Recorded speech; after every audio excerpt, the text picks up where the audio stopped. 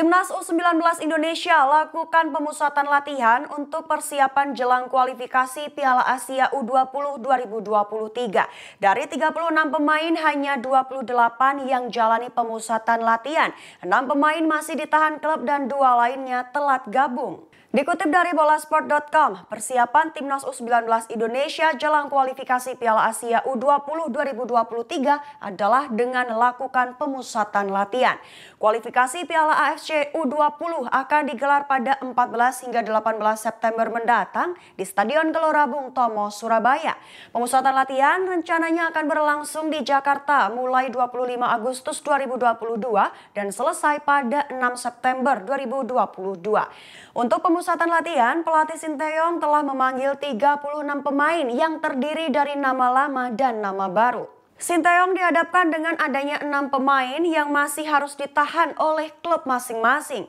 Lima pemain masih ditahan Persija Jakarta karena masih dibutuhkan untuk mengarungi beberapa pertandingan ke depan. Lima pemain Persija Jakarta tersebut adalah Muhammad Ferrari, Ginanjar Wahyu, Alfrianto Niko, Frankie Misa, dan Cahya Supriyadi. Sedangkan satu pemain dari Persebaya Surabaya, Marcelino Ferdinand, juga belum dilepas karena tenaganya masih dibutuhkan klub. Mengingat Persebaya Surabaya masih harus melawan Bali United pada 2 September 2022 mendatang. Sementara itu, hanya 28 pemain timnas U19 Indonesia yang menjalani pemusatan latihan pada 25 Agustus 2022. Enam pemain masih ditahan klub dan dua lainnya telat gabung.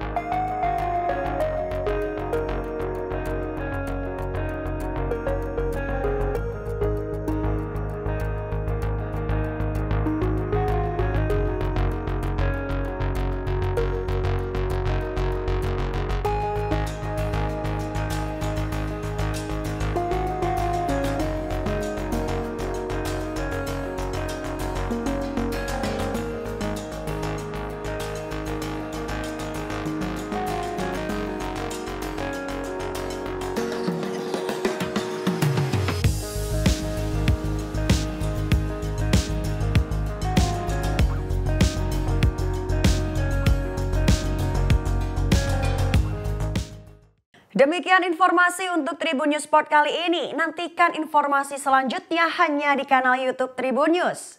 Terima kasih sudah nonton. Jangan lupa like, subscribe, dan share ya.